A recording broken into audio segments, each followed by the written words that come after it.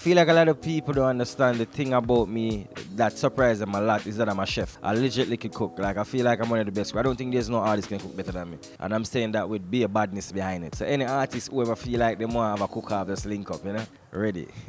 Specialty dish? Um, for me, I don't have a specific dish that I do. I stopped eating meat for a while now, so I'm not really touching the meat stuff like that. But if they want like a problem, like a oxtail, we can do it. You want jerk chicken, fried chicken, we can go ahead and do it. We can curry goat, anything you want. You know what I mean? But anything that can be cooked, try me.